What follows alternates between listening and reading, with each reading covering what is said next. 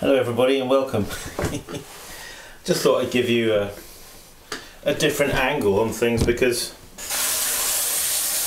having a different angle you see things don't you in a new way. I'm actually making some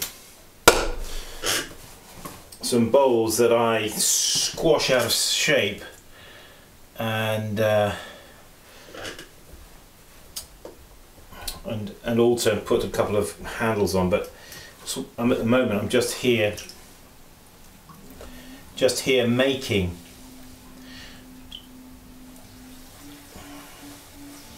You know first the first moment when you throw that lump of clay onto the wheel. By the way do throw your lump of clay onto the wheel. Don't just put it on the wheel and give it a little pat you know? That's not what it's about.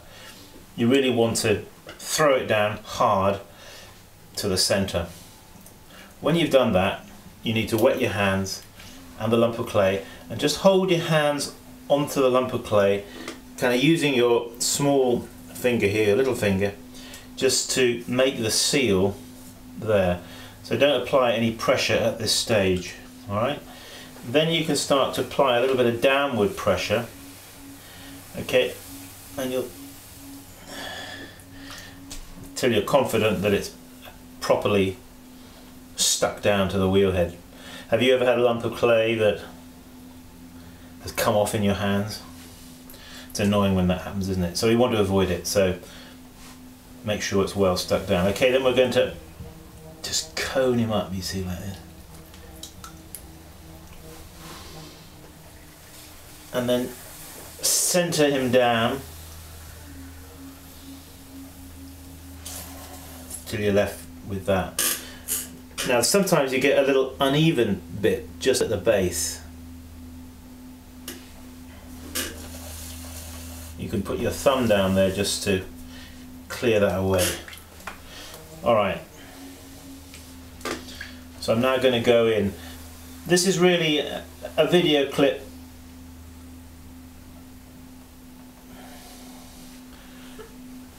from giving you some, showing you some hand positions, lifting positions. Okay, at this stage, once we've now, I've got it nice and rounded on the inside, I'm going to push in there from the outside, you see, with these fingers. I'm basically using my two middle fingers, okay, to perform that. Okay, keep it sufficiently wet. Now we're just going to take that clay and we're just going to lift it up. See, up he comes. Now don't let it don't let it get too wide at this stage. That is important. Now my gauge, my gauge, as you can see, is is out of the way, so I'm going to move it in now. This is a new kind of gauge I'm using that an engineering friend made for me. So we move him in. Now the idea is that we get up above the gauge before we go out to the gauge, alright? So we're going to gain a little bit of height now at this stage, like that. I'm going to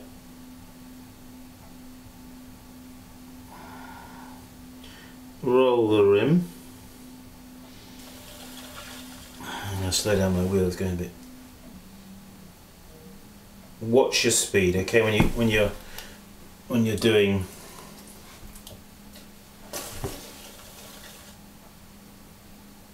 okay now bringing him up and just out to the gauge you want to bring him out to about um, an eighth of an inch an eighth of an inch from from the gauge. You're getting the sideways form. Let's just check the measurement. It should be seven inches on these.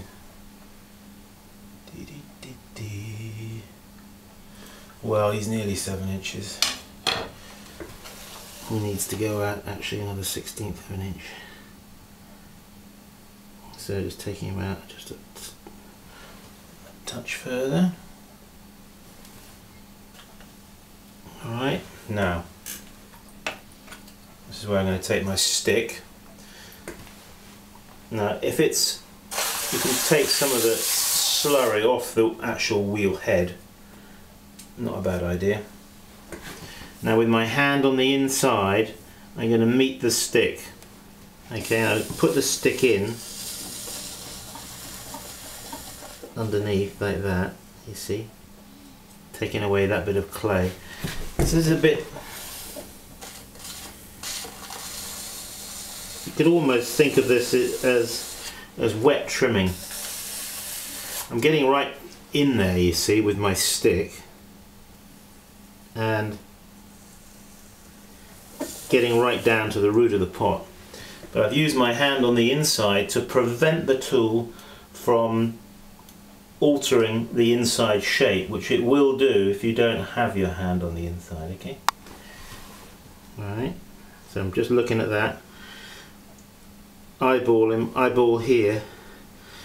You may, I, you, you'll notice I use my finger here and then you see I turn it like that after I've, and I use my top of my fingernail there just to make a, a line of distinction between this part of the pot and the rim like a line, a boundary line, you see? It makes it it makes it crisper, doesn't it? Right, I'm using my sponge just to take out the excess water. Eyeball the shape, make sure he's no, I'm thinking he just needs to be pushed in there, he's not quite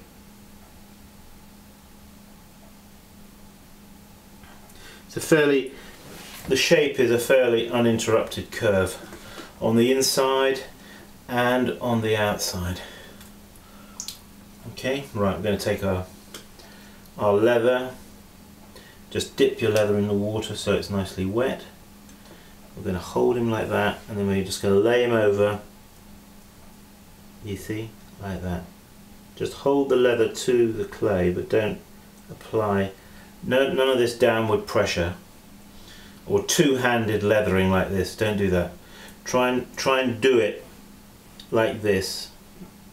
All you do is hold the end of the leather, leather like that. You see, lay it over, and then the thumb comes like that to just hold it to the.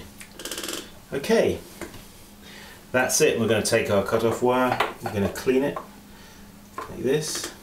We're going to slow the speed right down and we're just going to we're going to move the the gauge back. Alright and straight through.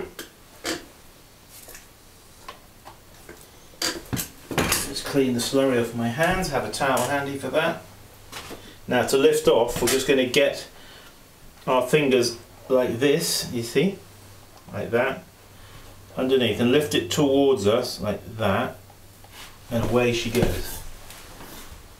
Now these particular bowls, as I say, I, I, I pushed them out of shape. Let's do one more. Let's just check the picture. Let's see if we're we're still there. Yeah, we seem to be, don't we? Yeah, that's that's good. Let's just come in a, a touch on this one.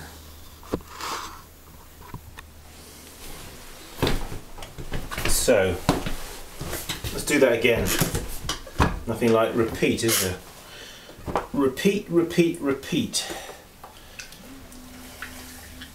Okay, so we threw the lump of clay down. We're holding our hands, wet hands. Okay, we're concentrating on that little finger there, just making that seal, you see? That seal there, okay? Okay, now I'm going to bring the clay up. And now center him down. Na, na, na. Clean away that little bit down the bottom there like that.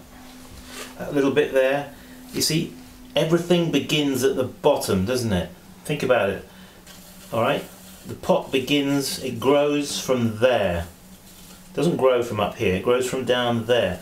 So get that on center and clean down there when you start because that's going to that's going to determine how nicely you've got that finished off just there where my finger is is going to determine how easily that clay is going to want to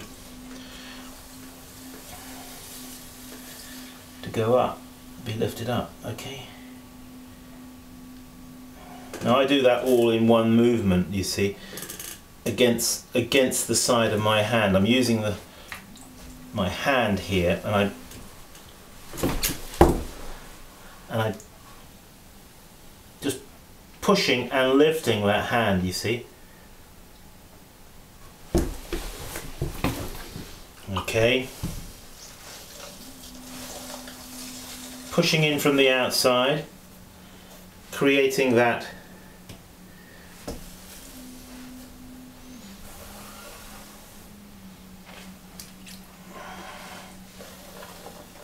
I'm looking in a mirror as well. Never a provide idea to use a mirror because it, it it helps you focus on the on the profile of the pot and that's what you should be focusing on is on the shape here. You can't always see the shape can you when you're right on top of it here. That's why having a mirror is such a great idea. If you don't have a mirror and you've never tried one spend two dollars, go and get yourself a mirror and try it out. It'll be the best thing you ever did, I'll tell you. Best thing since sliced bread. Wow. I don't know how good sliced bread is really. I like to slice my own if I can. you know what I mean. Okay, so I brought the gauge in. I'm now going to grab that clay, pull it up, be decisive about it. Okay, pull him up. Don't go too wide. Now just roll that that lip over your finger, okay? And then tuck him right round like that. Okay, and then that movement, as I told you, like that, you see? Okay. Keep him keep him wet enough, alright?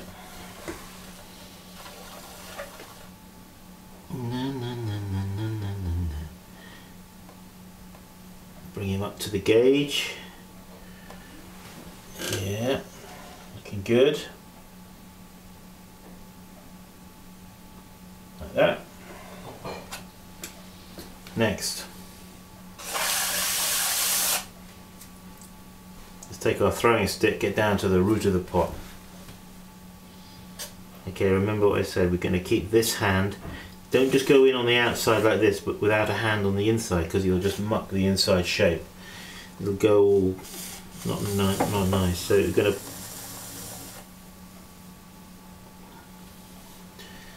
taking off that, you see, wet trimming it with the tool. This saves us a lot of trimming afterwards. Okay, you may you may you may want to you may want to just put him on the wheel upside down. You've seen it me do it, and um, you can either thumb these off or skim them off. Well, these bowls actually are going to be squashed out of shape, so they're not going to be that easy to put back on the wheel.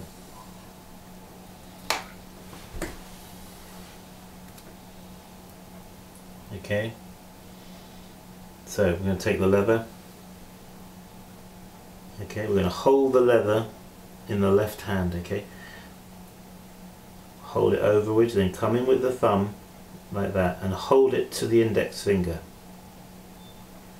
Okay and just hold the end of the leather here just to secure it okay? So come in like that and like that. Easy peasy Alright, let's just, just check in, we should be 7 inches. Exactly 7 inches it is.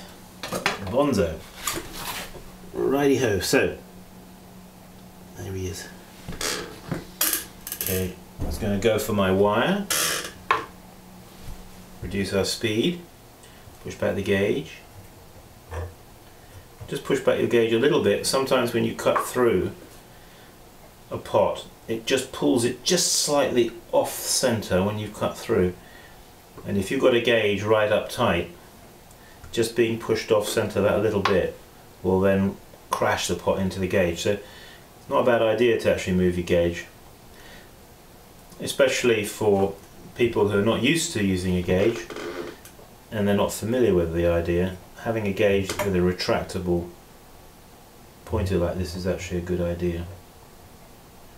I'm coming to a conclusion. Okay, so toggles at the back, yeah.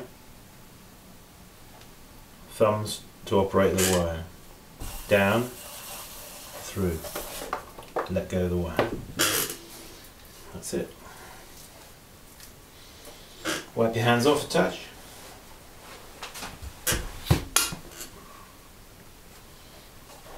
Underneath, right to the base of the pot, alright? And what we're going to do is we're just going to just tilt it like that, you see? Let's air get in underneath. Put them on the board.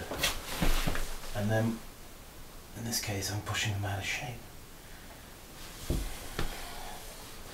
So there it is.